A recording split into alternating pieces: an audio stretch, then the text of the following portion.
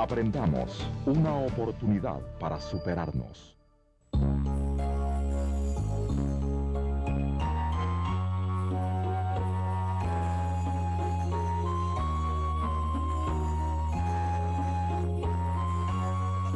Curso Promotor del Desarrollo Integral Infantil.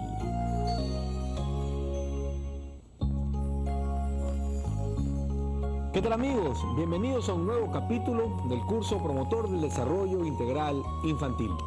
El día de hoy aprenderemos más sobre los niños de 4 a 6 meses.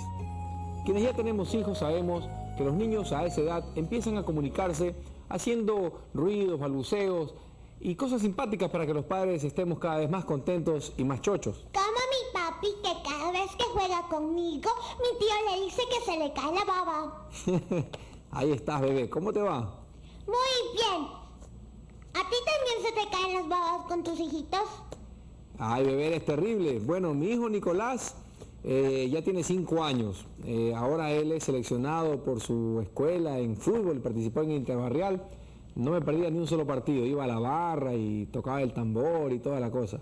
Y mi hija Valentina tiene nueve meses y bueno, es la reina de la casa. Realmente hace lo que ella quiere. Byron, Ajá.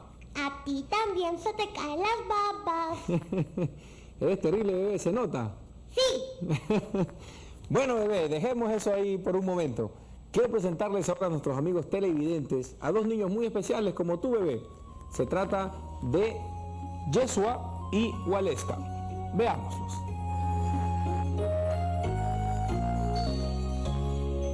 Mamás, hoy vamos a visitar a Valesca, una niña de cuatro meses quien disfruta mucho jugando con los juguetes pedagógicos hechos por su madre y quien ya muestra sus emociones, al igual que Yeshua, su primo de seis meses, quien es estimulado desde el embarazo. Yeshua ya empieza a balbucear y se entusiasma con juguetes de colores y sonidos. Veamos la diferencia.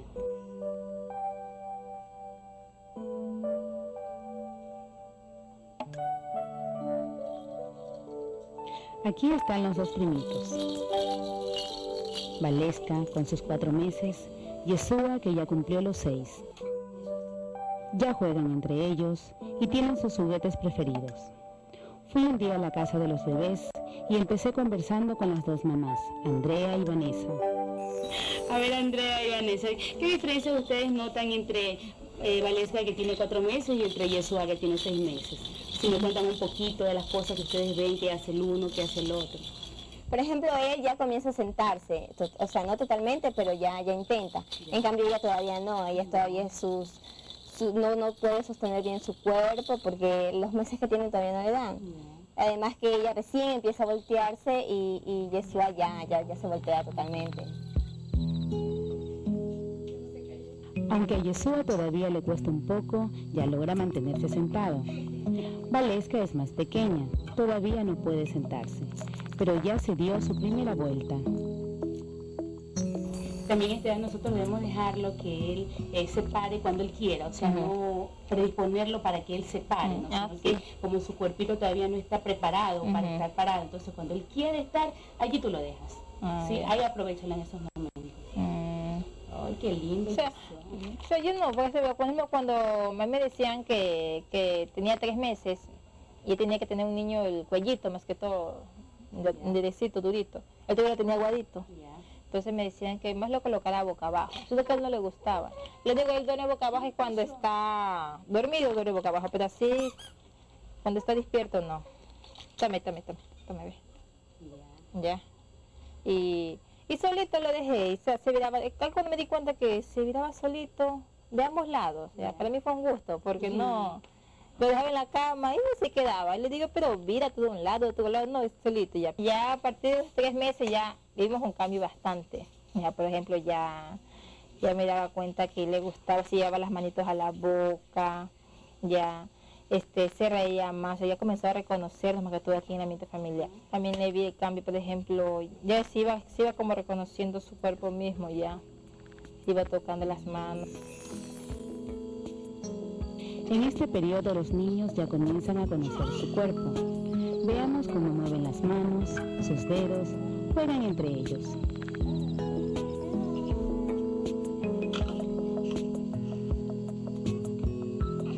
Ya agarran diferentes objetos con sus pequeñas manos.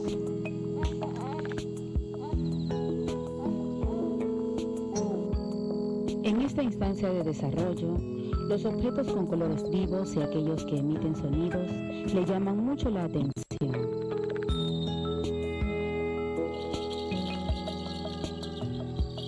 Los pequeños ya emiten algunos gritos y balbuceos.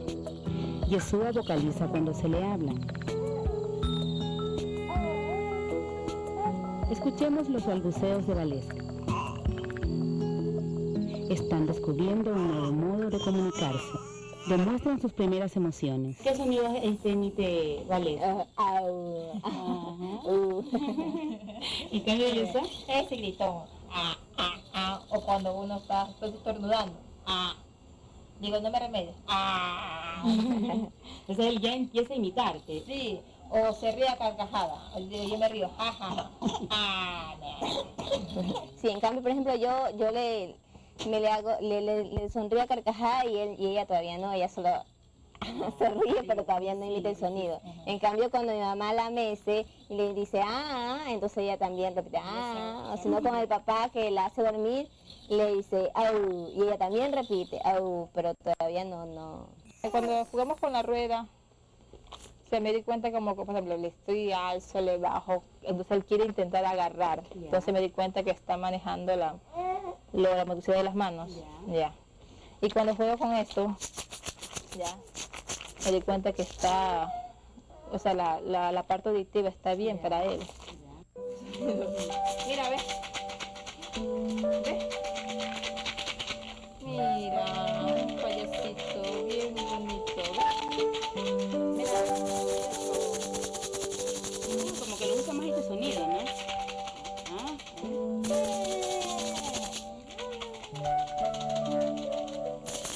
arranca, los arranca y ya no sé de dónde voy a ponerle la piola y ya tengo que dejarlo una y hacerle otro de nuevo. Vas a tener que hacerle muchos movidos Sí. más para que no se canse de arrancarlos y eso.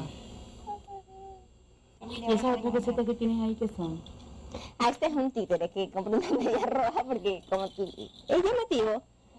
Entonces también le hago juegos con esta media.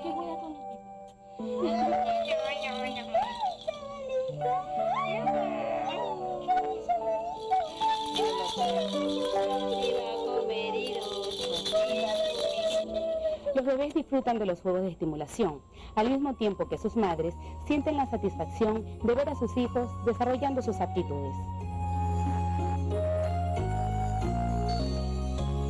En Aprendamos cada día conocemos algo nuevo. Es más, cada minuto aprendemos algo nuevo. Si ustedes no se han inscrito todavía, están a tiempo de hacerlo. Llamando gratuitamente al 1-800 EDU-TVE, ustedes van a recibir esta carpeta totalmente gratis. Una carpeta con información valiosa que complementa lo que nosotros decimos aquí programa a programa. Otro teléfono al que se puede comunicar es el 29 66 07. Nuestros tutores les indicarán cuál es el centro que está más cercano a su casa para que se inscriban. Presten mucha atención ahora en el corte que viene información valiosa para ustedes. Ya volvemos. En el próximo bloque, las actividades con su padre estimulan el desarrollo de Yeshua. Aprendamos Informa. El programa Más Salud de la muy ilustre Municipalidad de Guayaquil te ofrece consultas médicas y medicina gratuita. Acércate a cualquiera de los siguientes puntos. Centro de Salud Sumar. Centro Polifuncional Lotización Los Ranchos, Avenida Isidro Ayora, junto a la séptima etapa de Mucho Lote. Atención, de lunes a viernes, de 7 horas 30 a 16 horas 30. Centro de Salud Fertiza, Guasmo Oeste, Fertiza, Cooperativa Ahora le toca al pueblo. Atención, de lunes a viernes, de 7 horas 30 a 16 horas 30. Sábados, desde las 8 horas a 14 horas. Dispensario Mercado Artesanal. Vaquerizo Moreno y Loja, planta alta. Atención, de lunes a viernes, de 8 horas a 16 horas 30. Dispensario Cámara de la Pequeña Industria. Avenida de las Américas, diagonal al Centro de Convenciones. Atención, de lunes a viernes, de 7 horas 30 a 16 horas. Dispensario 25 de julio. Avenida Perimetral, Ciudadela Cobién. Atención, de lunes a viernes de 8 horas a 16 horas. Dispensario Puerto Lisa, Bolivia y La Octava. Atención, de lunes a viernes de 8 horas a 16 horas 30. Dispensario Caja de Rastro, Camal Municipal, Barrio Cuba. Atención, de lunes a viernes de 5 horas a 13 horas 30. Dispensario Pozorja, Parroquia Pozorja, contiguo al mercado. Atención, de martes a sábado de 8 horas a 16 horas 30 en invierno. Y en verano, de 7 horas a 15 horas 30. Sal de ahí. Anda a jugar a otro lado, ¿sí? Déjame ver. Sal de ahí. Te dije que me dejaras ver. ¿Qué haría usted en su lugar? ¿Le daría un manotazo para que no moleste? ¿Llamaría a su esposa para que se lo lleve? ¿O lo invitaría a ver la película con usted? Arriba. Vamos a ver la película. ¿Sí? Vamos. Siempre, la mejor opción con los niños es prestarles toda la atención posible. Aunque ustedes no lo crean, a pesar de tener dos hijos y uno ya de cinco años, yo no dejo de sorprenderme de las cosas que aprendo en este programa semana a semana. ¿Sabían ustedes que cuando sacan a un bebé al sol, él está recibiendo vitaminas importantes para su crecimiento? Ya está, ya está. No me falta nada. Toalla, patito de hule, mi balde, mi pala y mi sexy pantalón de baño. ¿Me invitas a la playa, Byron? A la playa, bebé, pero si estamos en la mitad de un programa. Pero tú dijiste que me voy a alimentar si tomo el sol y yo tengo mucha hambre. Eres un bebé terrible. No es exactamente lo que dije. Para aclarar lo que dije, mejor vamos a ver estas imágenes, ¿ok? ¿Sabía usted que el sol es un complemento importantísimo para el adecuado crecimiento de los niños? Porque ayuda a la piel a realizar la asimilación de vitamina D, responsable de la absorción del calcio y del fósforo. Es así como una alimentación insuficiente y la ausencia de sol pueden causar raquitismo, una enfermedad que afecta a los niños y que provoca retardo y disminución en el crecimiento y la dentición, problemas en los huesos y decaimiento, entre otras dificultades. A esta edad normalmente cuando los niños juegan pensamos que están haciendo cosas sin importancia. Es más, cuando tratan de coger algún objeto, en vez de estimularlos, les llamamos la atención y les decimos que lo dejen de hacer. ¿Por qué no pensamos que esto es parte de su aprendizaje, que es su forma de descubrir el mundo que les rodea? Para demostrar esto, tenemos a nuestra promotora Irma, que está en compañía de Valesca y Yeshua.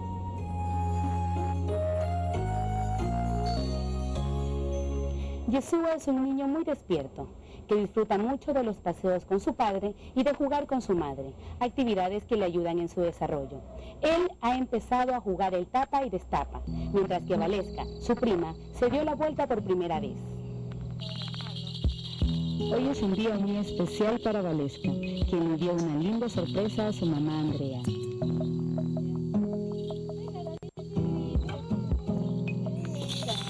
Andrea, ¿qué recién llego. Pero me encontré con la gran sorpresa de que mi bebé se volteó. Qué lindo, fue emocionante, ¿no? Fue súper emocionante porque ella se viraba de lado nada más. y nunca, nunca lo he hecho totalmente. Y, y- y cuando la vi, que ella estaba virada, yo pensaba que alguien la había virado y la sorpresa se viraba, se viraba.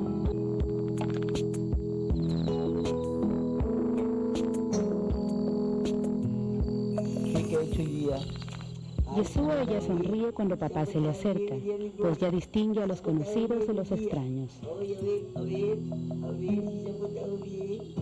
Sí, se ha portado bien. ¿A qué más te gusta jugar con él? sacarlo a pasear. ¿Te gusta sacarlo a Todas las tardes, si vengo cansado, es es primordial que yo hago sacarlo un rato. Uy, él ya se acostumbró a salir a pasear con su papá. Y ahorita eso es lo que quiere, que lo saque a pasear.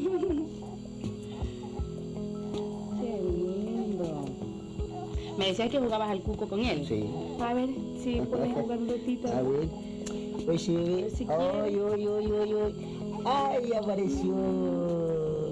A ver, a ver. Ay, ay, ay, ay. ay. Uy, no se quiere reír. Yeshua empezó a balbucear. El padre sabe que el niño quiere salir un rato. Muy a menudo papá sale a pasear con su hijo.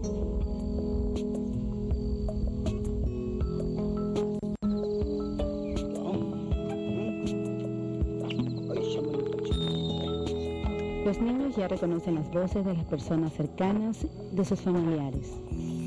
¿Cómo están? ¿Cómo están? Venimos a ver a los niños, cómo han amanecido.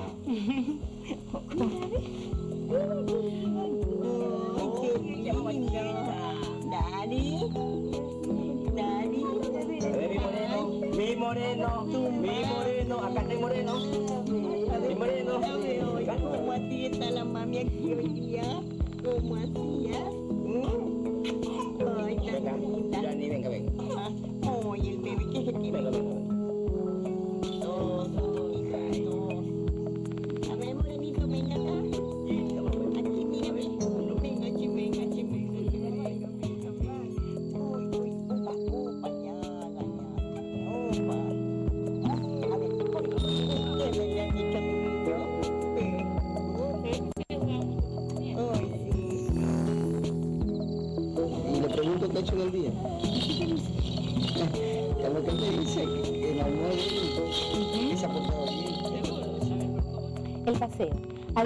Entretener al niño y estrechar los lazos, le hace bien, puesto que una adecuada exposición al sol le previene de enfermedades.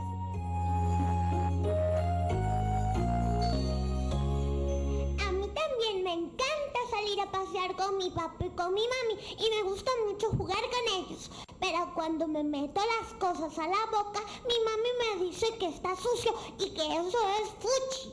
Pero es que me pica la boca. Te pica la boca. ¿Y por qué te pica tanto la boca, bebé? No lo sé. ¿Y tú?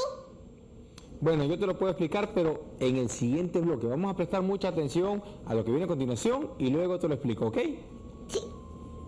En el próximo bloque, ¿por qué Yeshua se lleva todo a la boca?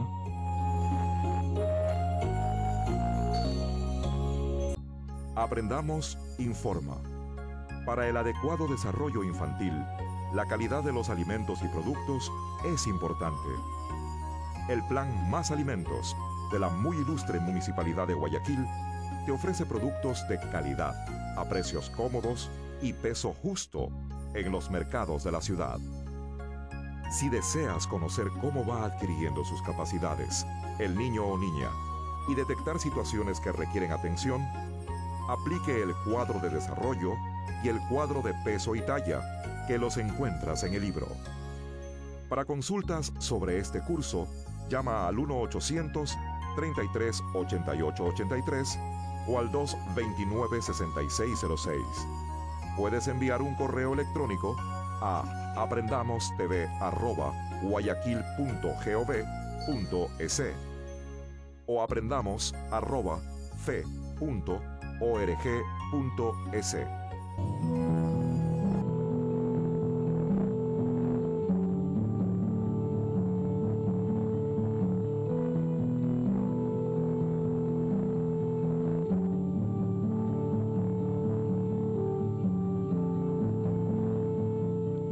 ninguna tienda encontrarás un producto que te dé tantos beneficios. Dale el seno a tu hijo durante sus primeros seis meses de vida. Aprendamos una oportunidad para superarnos.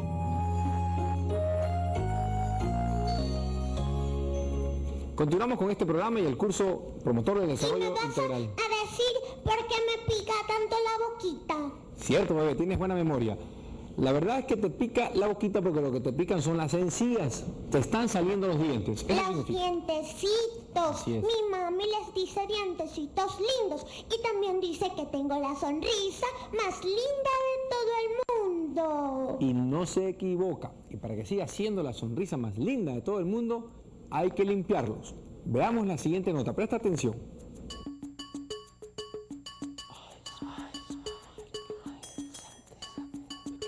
Fuimos a visitar al doctor Sabinovich a su consultorio en Aprofe, quien nos dejó recomendaciones sobre los cuidados y limpieza de los primeros dientes de los bebés. Hola mamá, El día de hoy vamos a hablar sobre los dientes de leche. Es importante recalcar de los dientes existen pues dos tipos. Los primeros son los dientes primarios, temporales o dientes de leche que se conocen y los segundos son los dientes secundarios o dientes permanentes. Los primeros salen alrededor de los seis meses y los segundos alrededor de los seis años. Es importante recalcar que estos dientes deben de ser aseados con una gasa, con agua bicarbonatada, ¿verdad? Y posteriormente deben ser limpiados con un cepillo de dientes con cerdas muy suaves, con la finalidad pues de hacer una limpieza adecuada y prevenir las caries.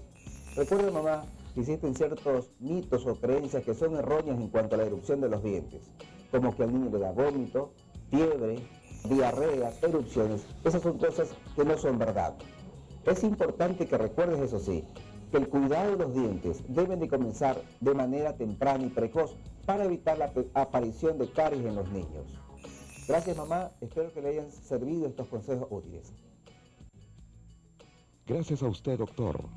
Nos vemos en el próximo Consejos Útiles. Cuando me empezaron a salir los dientecitos, mi mamá me decía que yo estaba muy llorón. Ah, y tal vez te dio un poquito de fiebre, bebé. Sí. Bueno, eso ocurre. Cuando al bebé le salen los dientes, hay ciertos síntomas que hacen que las mamás se confundan y se preocupen porque piensan que sus hijos están enfermos. Pero no es así. Para eso tenemos a Irma en compañía de las mamás de Valesca y Yeshua que nos cuentan su experiencia. Veamos.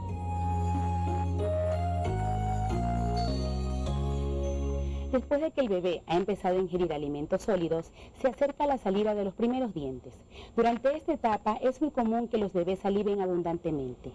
Veamos cómo las mamás de Yeshua y Valesca intercambian experiencias de sus hijos. Hola, mami. ¡Ay, qué rico! Hola, mami. Adiós. Ah. Dime, Vanessa, ¿y cuándo le introduciste sólidos a Yeshua? Este, o sea, desde el día que le cumplió seis meses. ¿Y tú sabes por qué es importante que ya le empieces a dar sólidos a tu bebé? Sí, por lo que ya para que el estómago mismo de, de la criatura misma ya vaya cogiendo, ya se vaya endureciendo poco a poco. Ya. Hasta el año, que ya definitivamente ya comentó, por lo general todo esto Ya. También es bueno que ya empecemos a darle sólidos a partir de los seis meses, porque el bebé ya empieza a hacer más actividad, entonces empieza a hacer más cositas, entonces es bueno que ya vaya introduciendo más alimentitos para que pueda sostener, mantener más su cuerpo. Yeshua se mete todo en la boca, como muestra de que sus dientes están por salir.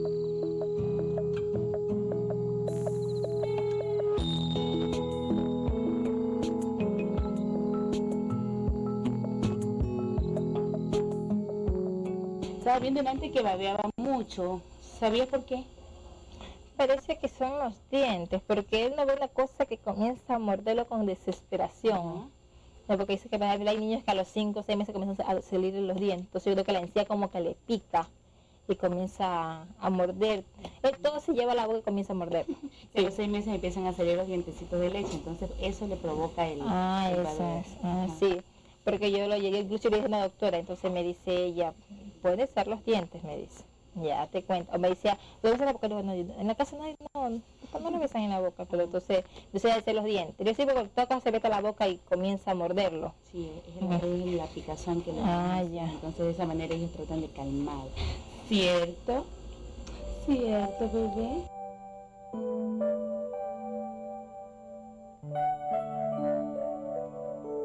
Hasta cuando me estaban dando de lactar. Usted mira, el pezón me lo muerde pero con la encía. Y me hace, y digo, otra papá me dice, ah, cajo tiene dientes. Digo, pero es con la encía, es que él me muerde, le digo, y me hace doler, le digo. Entonces son los dientes que le van a salir. En cambio, Valesca no, ya. Como que tiene cuatro meses. En este periodo las mamás comienzan a disfrutar más a sus hijos, porque Valesca y Yeshua demuestran afecto todos los días. ¿Ustedes alguna, algún momento los han dejado solos y han visto cómo ellos reaccionan? Y eso así, cuando le gusta que estén ahí con uno conversando, jugando. A veces yo, por ejemplo, está en el cuarto, yo corro a la cocina y ya ve que no estoy, me mira, me mira y comienza a llorar. Ya. Comienza a llorar o comienza a gritar. Y haciendo que gritar es porque no tiene que estar ahí con él. ¿Y Valesca? ¿La has dejado solo alguna vez y Sí. Ajá, ¿y qué hace Valesca cuando la dejan? Valesca, por ejemplo, si la dejo con los móviles, ella es feliz. Se queda todo el tiempo, los agarra, los arranca, el- bueno, de todo. Pero cuando ya se aburre y, y ya ve que, que no estoy, empieza a llorar. Por ejemplo, en la mañana, cuando yo ya me, me despierto, me levanto, eh, y ya queda con mi esposo en la cama, y de repente mi esposo se, se levanta también a ayudarme a hacer el desayuno, entonces la dejamos sola en la cama. Y ella empieza a tocar, toca y toca, y como, igual le ponemos almohada, pero ella igual siente la textura y empieza a llorar. La primera forma de explorar los objetos es a través de la boca. Además, someter distintos objetos a este examen calma la picazón de las encías que produce la dentición, por lo que es necesario un poco de paciencia y cuidado por parte de los papás.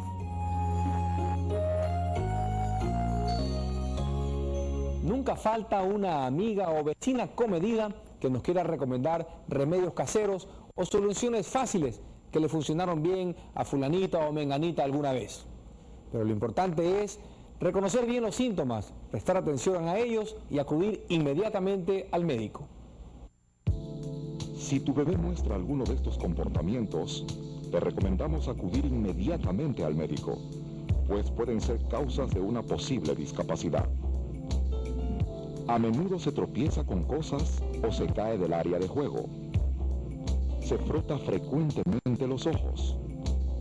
No se voltea cuando lo llaman suavemente. Demuestra una reacción marcada a ruidos repentinos. Es irritable. No lleva las manos a la boca. No sostiene la cabeza. Nos acercamos al final de este programa en el que hemos aprendido muchas cosas importantes. Precisamente vamos a hacer un resumen de lo que hemos visto el día de hoy. Para eso les presento las siguientes imágenes. En el capítulo de hoy aprendimos que el bebé ya empieza a jugar con su cuerpo, que juega con sus manos, las mira y empieza a llevárselas a la boca. También aprendimos que el bebé empieza a jugar con sus propios sonidos. Ya no dice ajo, sino que empieza a gritar para escucharse. Ya casi puede mantenerse sentado, puede controlar sus movimientos y es capaz de acercar su mano a un objeto en movimiento. Mamá, a tu bebé le gusta que le enseñes a jugar y a descubrir las cosas por sí mismo, que le repitas varias veces las cosas para poder aprender. También le gusta que le hables porque él ya ha empezado a emitir sus propios sonidos. Y vuelve la cabeza a quien le habla, disfruta con él. Mamá promotora, en este periodo es muy importante que las mamás observen a su bebé y se comuniquen con él. Encontrarás más de una mamá con muchos hijos. En este caso, promueve que le dediquen un tiempo todos los días para realizar actividades sencillas que fomenten el desarrollo del niño.